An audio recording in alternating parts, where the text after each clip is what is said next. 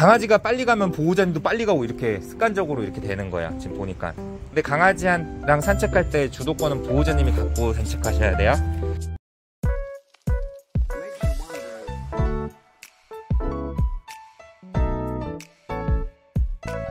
자 끌려가면 안 돼요 네. 자 강아지랑 산책할 때 어, 강아지가 너무 앞질러서 줄을 팽팽하게 끌고 다니면은 그때는 바로 멈추세요 네. 자 가세요 네.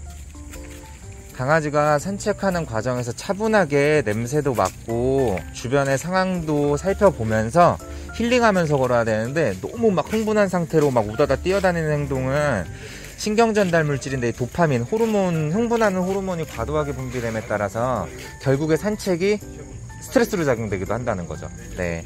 그래서 냄새 맡을 때는 계속 기다려 주고요. 네. 충분히 냄새 맡을 수 있도록 기다려주면서 냄새를 맡아야지 강아지가 스트레스를 또 해소하는 거거든요. 근데 이쁘다. 네. 맡은 적 없죠. 근데 보호자님이 아까 전에 줄 이렇게 잡고 있는 상태에서 쉿 소리 내고 땡겨주는 것처럼 한번 강하게 땡겨주면은 그 전처럼 막 흥분하고 달려들고 막 개들 보고 짖는 행동들이 사라진다는 거예요. 자 가볼게요. 앞으로 가보세요. 저 강아지 있으니까 끌고 가세요. 그냥 끌고 가세요. 네 좋아요. 네. 어깨에 힘 빼고 편안하게. 네. 자, 저 원래 저 상태에서 강아지 보면 짖고 난리 치잖아요. 네, 가세요 앞으로. 네. 앞으로 가세요. 네. 줄 짧게. 네. 네, 안 짖죠? 관심이 없어. 네. 이게 정상적인 모습이라는 거야. 근데 여태까지 이 친구가 왜 개들 보고 짖고 사람 보고 짖었냐면은 보호자님을 지키고자 하는 알파 증후군 때문에 그래요. 그러니까 자신이 상위 서열이기 때문에 서열이 가장 높기 때문에 자기가 짖으면서 다른 사람이나 개들을 보호자로부터 보호하려 그런다는 거죠. 근데 지금 아까 전에 줄을 당겨줌으로써 서열이 잡혔기 때문에 문제가 사라진 거예요. 네. 천천히 가보세요. 네. 너무 신기해요.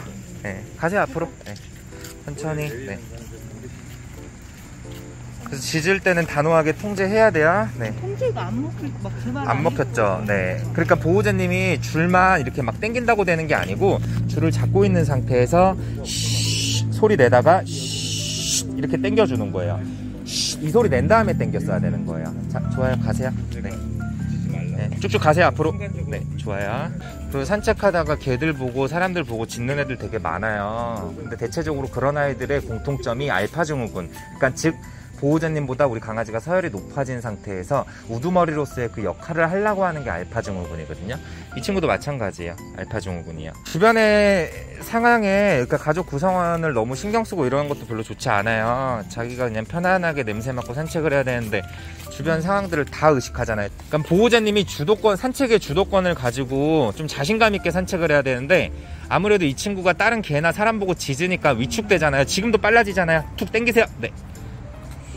좋아요. 쭉 끌고 내려오세요. 내리세요. 네. 강아지가 빨리 가면 보호자님도 빨리 가고 이렇게 습관적으로 이렇게 되는 거야. 지금 보니까. 근데 강아지랑 산책할 때 주도권은 보호자님이 갖고 산책하셔야 돼요.